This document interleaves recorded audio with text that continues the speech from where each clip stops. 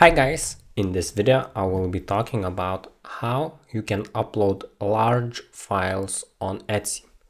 So if you have a shop on Etsy where you sell digital files, this tutorial is for you. Here I have opened the Etsy help page where it says how to add digital files to a digital listing and you can see that you can upload up to five files and the maximum size for each file is 20 megabytes.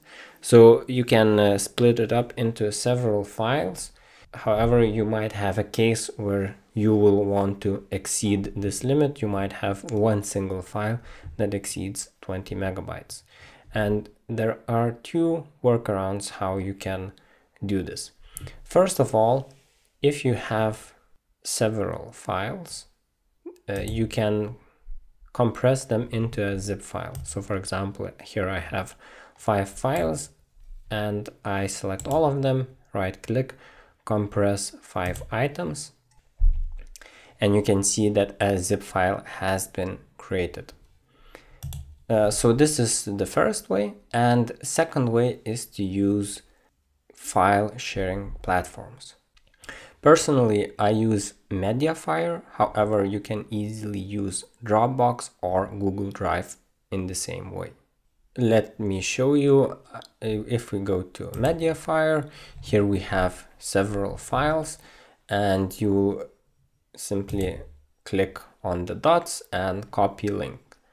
Uh, and you want to save this link, then go to Word and create a new file and here you can simply type th thank you for purchasing this listing.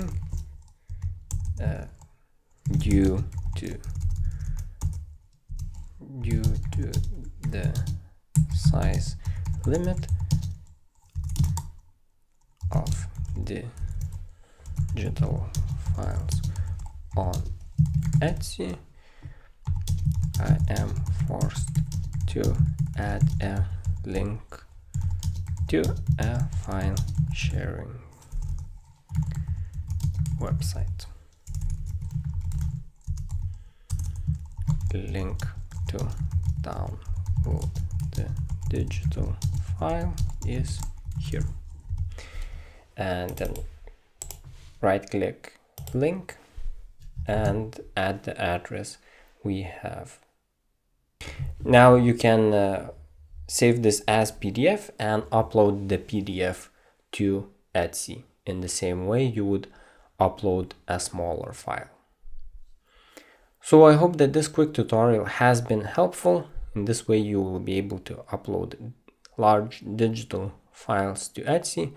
I believe that creating documents uh, to file sh sharing platforms is most popular one. Uh, thanks for watching and see you guys in another tutorial.